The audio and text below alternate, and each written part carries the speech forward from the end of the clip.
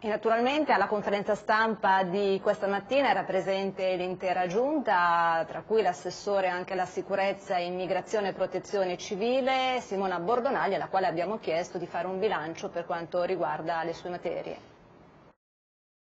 100 giorni di giunta del governo Lombardo, del governo Maroni, per quanto le riguarda tre cose che vuole mettere in evidenza. Beh, penso che la cosa più importante, metto in evidenza solo una, che penso che sia la più importante che si aspettano i cittadini, la stipula urgente alla quale stiamo lavorando per il protocollo tra Regione e Stato centrale per quanto riguarda la sicurezza. So che i cittadini sentono questa necessità, soprattutto in alcune aree della nostra regione, Milano in primis, e quindi arrivare alla firma di questo protocollo che darà maggiori poteri anche alle polizie locali per un migliore intervento sul territorio sarà essenziale.